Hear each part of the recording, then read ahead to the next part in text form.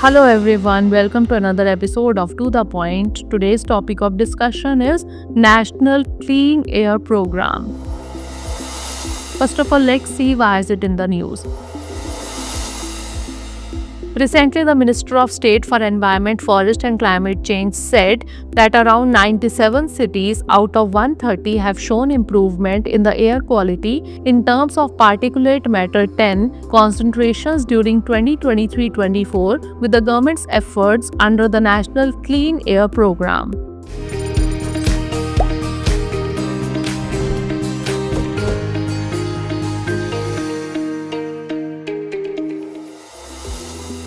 Now let's discuss about National Clean Air Program.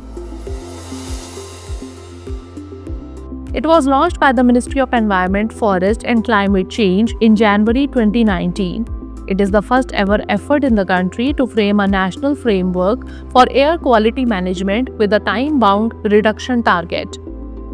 The NCAP's goal is to reduce average particulate matter that is PM10 concentrations by 40% by 2026 in 131 cities. Initially aimed for a 20 to 40% reduction by 2024, the target was later extended to 2026. It covers 131 non-attainment cities which were identified by the Central Pollution Control Board. Under the program, rupees 16,539 crore have been allocated for the period 2019-20 till 2025-26. PRAN, that is Portal for Regulation of Air Pollution in Non-Attainment Cities, is a portal for monitoring of implementation of NCAP. Now let's discuss that what are non-attainment cities under NCAP. Non-attainment cities are those that have fallen short of the national ambient air quality standards for over 5 years. NAAQs are the standards for ambient air quality with reference to various identified pollutant notified by the CPCB under the Air Prevention and Control of Pollution Act 1981. List of pollutants under NAAQs are PM10, PM2.5, sulfur dioxide, nitrogen dioxide, carbon monoxide, ammonia, ozone, lead, benzene, benzopyrene, arsenic and nickel.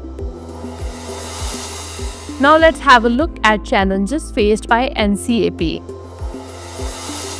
Bureaucratic red tape, complicated approval processes hinder timely implementation of pollution control measures, delaying essential actions like procurement of equipment, underutilization of funds, Despite substantial allocations, cities often utilize only a fraction of the funds, with some spending as little as 1% of their budgets on air quality initiatives.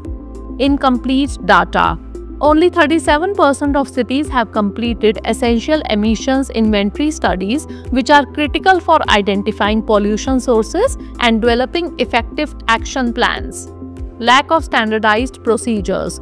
The absence of uniform guidelines leads to inconsistencies in how cities implement pollution control measures, complicating progress tracking. Skepticism about efficacy, doubts regarding the effectiveness of certain measures, such as smog towers, create hesitance in decision making and commitment to action. Now, lastly, moving on to conclusion.